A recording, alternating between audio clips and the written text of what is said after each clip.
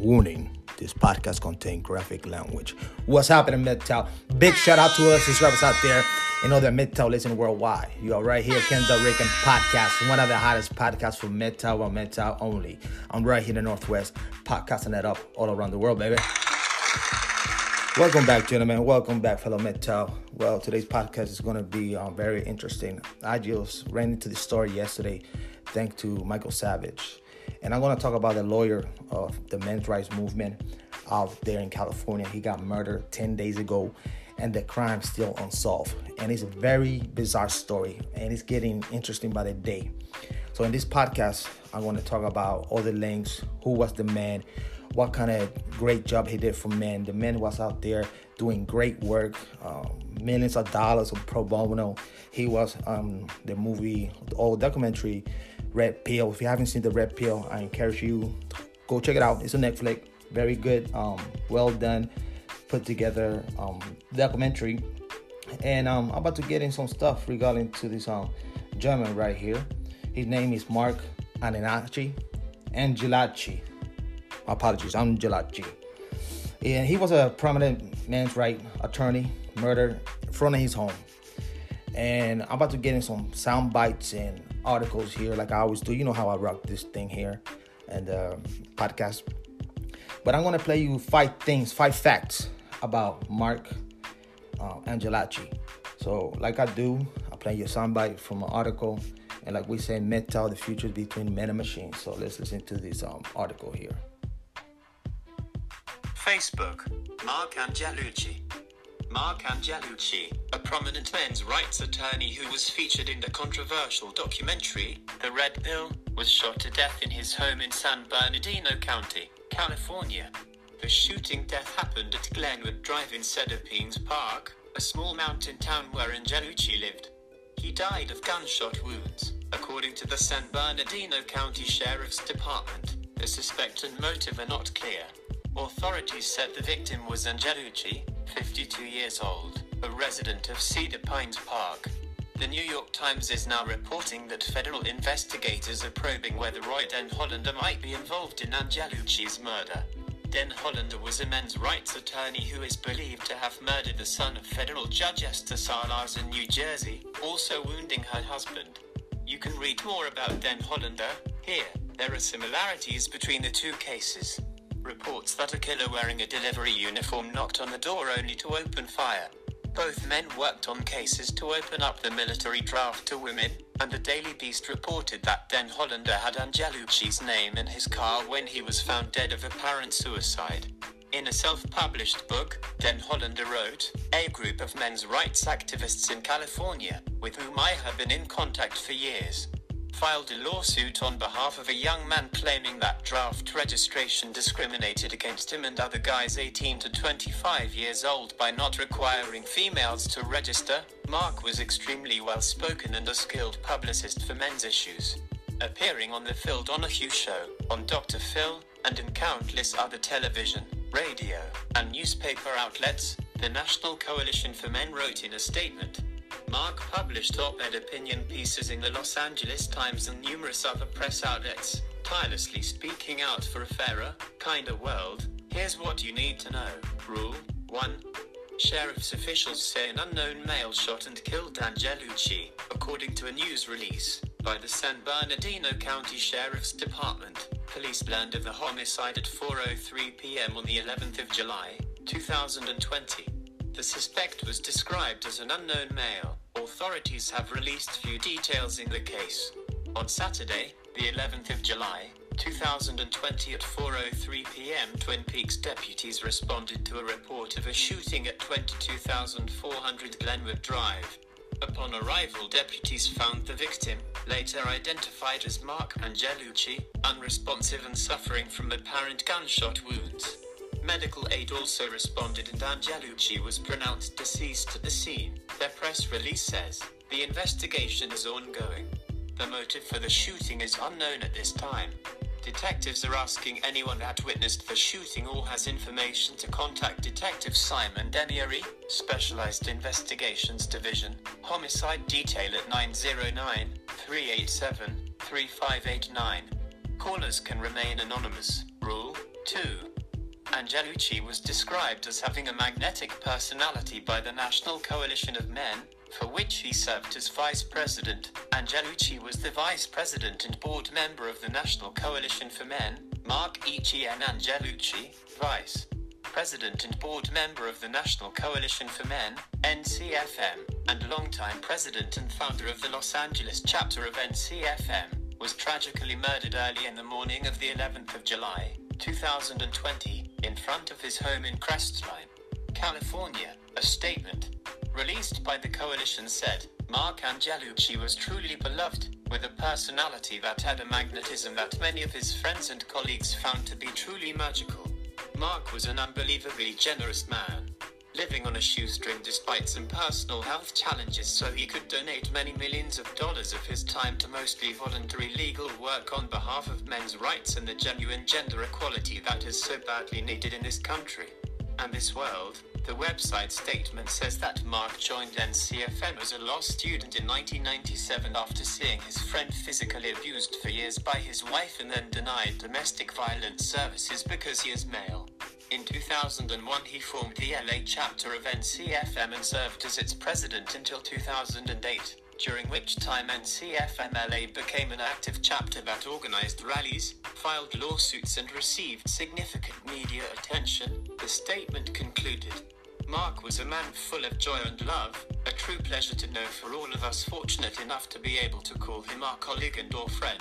If Marc Etienne Angelucci didn't exist, we would need to invent him. Though honestly, the man so far exceeded any dreams any of us could possibly have for an unbelievable combination of shining personal qualities and amazing professional achievements. While wildly successful on the legal front, he was a fabulously down to earth, loving man when not demolishing opponents in courtrooms to promote justice.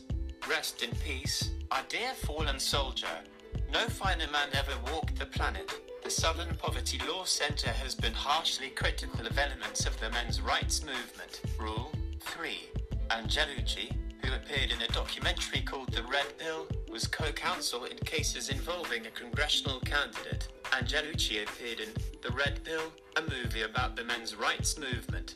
The documentary is controversial. A scathing review in Daily Review wrote The director's central hypothesis is that, in the present day and age, Women have it better than men. The red pill should not be laughed away or derided as benign flapdoodle. It is a dangerous film in that it presents men going through hard times a convenient catch-all narrative, a panacea for their woes. Cassie Jaye, the filmmaker behind The Red Pill, wrote a tribute to Angelucci on her website. It says in part, he never initially planned on being a men's rights attorney, as I labeled him in my film, but his big heart wouldn't let him turn his back on good, innocent people needing legal counsel. The more he worked on these cases, the more he learned how unjust the system was. In his 20 years of practicing law, he became one of the most sought after and effective attorneys to fight on behalf of men and women in cases where gender discrimination was apparent, such as cases involving child custody, divorce, paternity laws, domestic violence services, criminal sentencing, military conscription, public benefits, false accusations, and education. Rhonda Kennedy, an attorney running for U.S. Congress, wrote on Twitter that she had spoken with the detectives. My co counsel on two cases, Marc Angelucci, was murdered last night. Just did an interview with the detectives. If you have any information, please contact the San Bernardino detectives. She wrote. Her Twitter page says, I am a mother of six, including seven YO triplets, an attorney and dean at Itachi Law School and running for Congress in CA 26. Marc touched the lives of everyone who knew.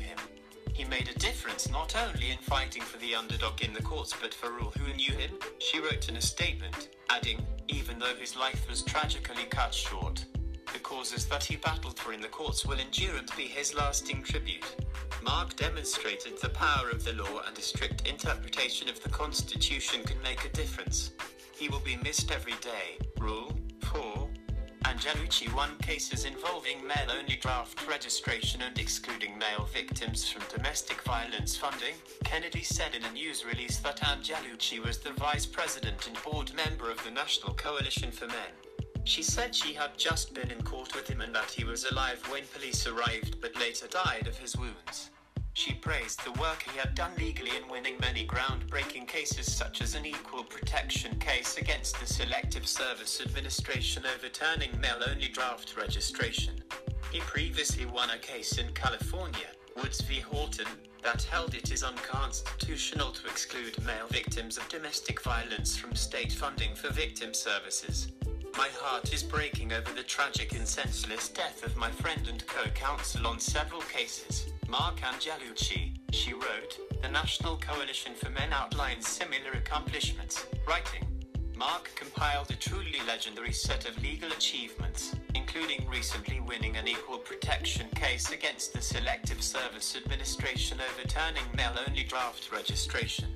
In 2008, Marc won a landmark appellate case against the state of California, Woods v. Horton, which held it is unconstitutional to exclude male victims of domestic violence from state funding for victim services. Marc also helped draft and enact legislation to stop paternity fraud, served on the California DCSS Paternity Committee, served on the training committee of the LA County Domestic Violence Council, and testified before the California Senate and Assembly Judiciary Committees.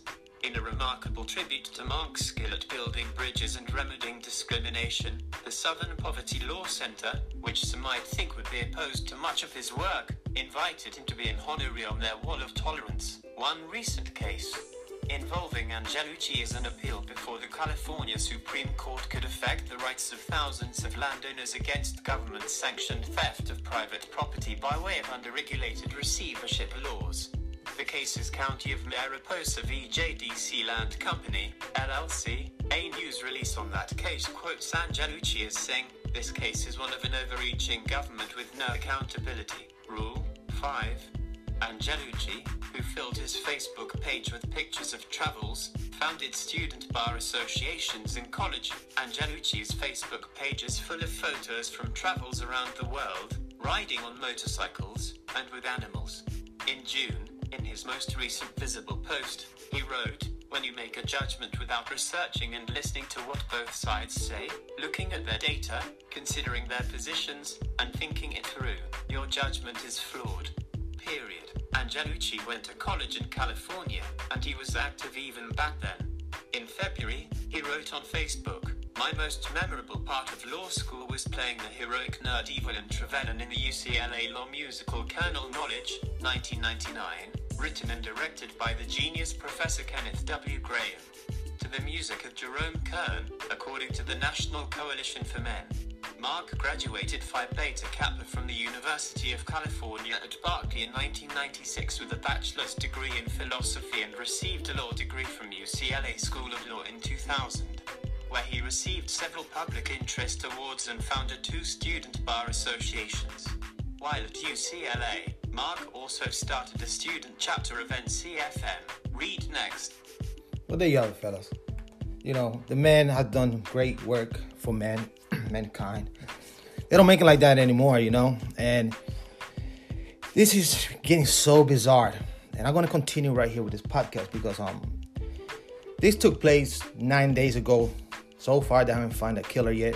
This article is by heavy.com and it was um six days ago.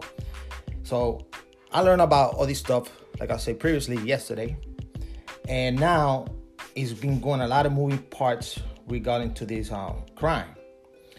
So I'm gonna play you here a few headlights from a few days ago and then one from today regarding to uh, this fine, fine gentleman. Um, you know, sometimes you don't understand how people think and they do crazy shit. You know, they senseless killing, murders.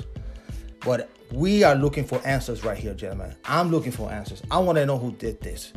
So far, there's a lot of moving parts and they might have a suspect, but they don't know yet. But this is a unsolved mystery crime so far for um, this fine, fine gentleman out here, fellas. So let me play another clip right here from um, witnesses and stuff like that and neighbors from a few days ago. Now at 5:30, a murder mystery in the Inland Empire. That's where a civil rights attorney was shot and killed at his home in the mountain community of Crestline. As NBC4's Tony Shin explains, some believe he may have been targeted by a hitman. Marc was the type of person that um, touched your heart almost immediately when you met him. Harry Crouch is talking about his friend and colleague of 20 years, Marc Angelucci, a 52 year old man who Harry calls one of the best civil rights attorneys in our country.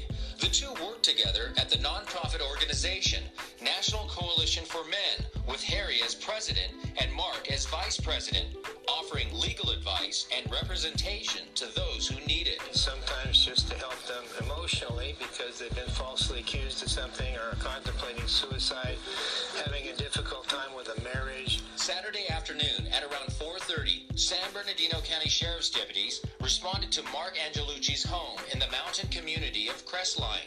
That's where they found Marc dead from gunshot wounds. He was assassinated. Harry says one of Marc's roommates witnessed the shooting and told him firsthand what happened after a man showed up, claiming he had a package delivery for Marc. And not knowing that there was an assassin at the door, when we got Marc from his office, he saw the gun, turned, tried to run away, and was shot in the back four times. Sheriff's investigators would not confirm any of those details because of the ongoing investigation, but they are asking for witnesses or anyone with information to come forward. any little bit of information could be what our detectives need in order to identify the suspects involved in this shooting. Harry says he has no idea who would kill Marc or why, but he did tell us that in his private practice, Marc had been working on at least one high profile corruption case. Maybe we have a psycho out there. I know there are other people. We have other attorneys now who are concerned with their safety. But whoever it is needs to be found and found fast. Tony Shin, NBC4 News. So that particular soundbite right there, that piece, the news, this took place like five days ago. And now the story is getting very bizarre. Very bizarre, gentlemen. I don't know have you heard lately where this um this judge son got killed and um the husband got wounded by a nutcase. Similar way that the lawyer got murdered. UPS um, delivery service men shot him. So they having some kind of um, correlation here between him and the, the shooter. But there's nothing concrete yet. There's no, they're not putting evidence yet, right? They're not putting one on one together. So it's still Marc um, Angelucci is still on soft mystery what's happening there. You know, it's it's very bizarre case and it's very sad to um to see this. You know, and there's a lot of nuts, a lot of nuts running around and and just committing crime. You know, so let me play you this other soundbite here. This is just recently today, because the, the, the most upsetting thing for me, right? That the only time you saw this case a few days ago, it was online. Nobody talked about no mainstream media talked about it. No one, just online. So when the judge out there in New Jersey, her son got murdered. Now all of a sudden, they put in his case back, and they trying to put one and one or two and two together, right? But meanwhile, nobody was saying anything. I would have spoke something about this case, but I did not know the case until yesterday, when Michael Savage played it on his radio. So now um, I want to play you this um this sound bite here in a second here, what actually was going on and why they got they have to do with one another in the cases and stuff like that. Regarding to these maniacs out there killing folks and shooting. And this guy, he's a nut fucking case. He sure is. o'clock, we're learning new information about the murder of local attorney Marc Angelucci, a well-known activist in the men's rights movement. Investigators say a man wearing a FedEx uniform shot Angelucci dead in his doorway on July 11. It's a case with disturbing similarities to this deadly shooting at a federal judge's home in New Jersey. Eyewitness News reporter Leanne Suter joining us live now with the late-breaking details. Leanne? Larb federal officials now trying to figure out what the cross-country connection may be in both cases. The alleged shooter dressed in a FedEx uniform. The mystery unraveling behind the brazen daytime shootings of a federal judge's family in New Jersey, now leading to Southern California and the murder of high profile attorney Marc Angelucci. The areas of the law that explicitly discriminate against men. The 52 year old was a well known men's rights advocate. Attorney Rhonda Kennedy, Angelucci's friend and co counsel in several cases, says she's in shock. Because of all the similarities, um, you know, which, which, it's still it's it's scary because now we still don't know what the motive was, where the threat's coming from. Is it connected to anything that we're doing? Angelucci was killed at his home in Crestline July 11th. Federal authorities now investigating the case say he was shot at his front door by a suspect reportedly wearing a FedEx uniform, strikingly similar to the weekend attack on Judge Esther Salas's family. Her 20-year-old son was killed, her husband shot by a suspect dressed in a his face covered. The alleged shooter, Manhattan attorney and self-described anti-feminist Roy Den Hollander was found dead today of a self-inflicted gunshot wound, a FedEx package addressed to the judge in his car. Hollander, who had a case before Judge Salas in 2015, was known for suing New York City nightclubs over their ladies' night discounts. I'm now trying to turn this tables of equality on the feminazis who have changed this country. Authorities now trying to figure out what his connection may be to Angelucci here in Southern California. He was such a good guy that there's I can't think of anyone in this entire world that would want to harm him. Kennedy says she's absolutely heartbroken by the loss and says at this point she does not know of any connection between Angelucci and Hollander, but again, authorities trying to figure out what that may be. Well, fellas, there you go. This is the latest news regarding to Angelucci. Um, we see. All we're seeking is justice. I want to start hashtag justice for Angelucci out there on Twitter. And I was willing to put the information out here what's actually going on. I would have put this video and podcast earlier if I would have known the, the whole information about it. Um, the men did great work. Um, I trying to do my best as this podcast out here to put all the information down regarding to this um, situation in this case. It's getting really, really weird out there. Honestly, MGTOW, really weird. Well, fellas, this is gonna be my podcast for today. Well, you can check me out at MGTOW.tv. You can check me out at YouTube and all the podcast major station. And with this, I say peace. State MGTOW. I definitely catch the next podcast or video.